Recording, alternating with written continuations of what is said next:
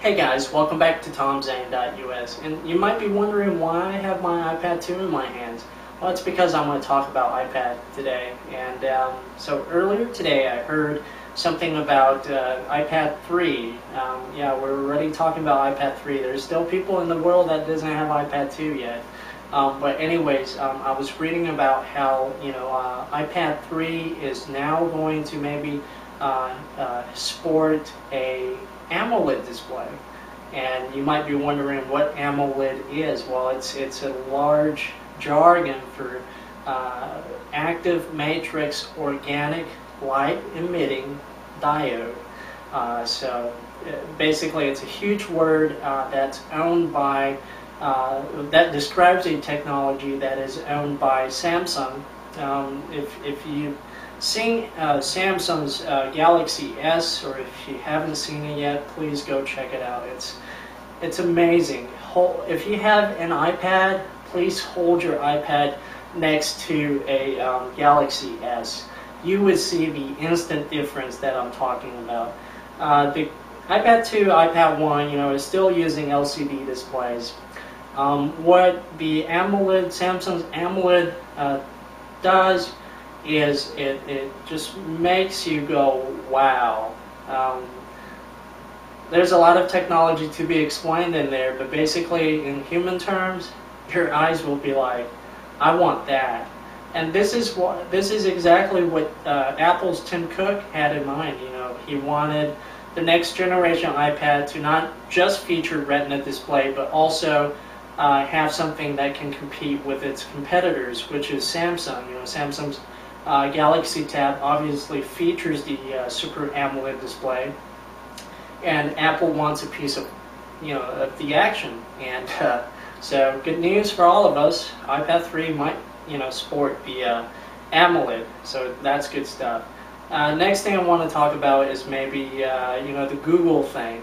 Um, you know, I was reading earlier today. Let me put my iPad down. Um, that if you are a lucky somebody in, uh, say, San Francisco or New York City, and you happen to have a Android phone, and you happen to have uh, been invited to Google's Wallet service, well, you're really lucky because you get to test out Google's new NFC uh, near field communications.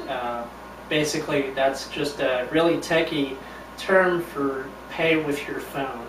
And so if you if you got invited to that, big congratulations to you.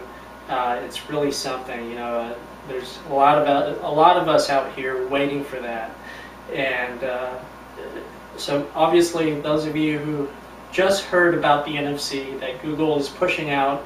Uh, basically, Google has teamed up with you know major credit card companies like Visa, Mastercard, uh, Amex, American Express, Discover, uh, to you know, utilize Android phones or Android-enabled devices to pay uh, on the go. You know, basically, remember how um, how some gas stations had those little keychain you swipe against the, the detector and then it knows who you are. Uh, it's pretty much the same thing. You use your cell phone, swipe against the detector, and the infrared picks it up. So, all right. So that's all for me today. Uh, two things. Uh, iPad 2 uh, is now going to be upgraded to iPad 3, and iPad 3 is going to feature the Samsung AMOLED display. And uh, you know, it, if you really want to know what AMOLED is, just go to your local Best Buy or wherever you get your technology from, and you know, take a look at Samsung's latest uh, Galaxy phones or latest Infuse phones. You'll know what I'm talking about. And also Google, uh, they're having, they're pushing out their NFC payments. So, uh, you know, soon enough we'll be able to pay with our phones. And hopefully, you know, those of us who own Apple products will be able to do that as well. So that's all from me. Uh, please go ahead, rate, comment, and subscribe to my channel. Add me on Facebook. And until next time, I'll see you here at tomzhang.us. Thanks.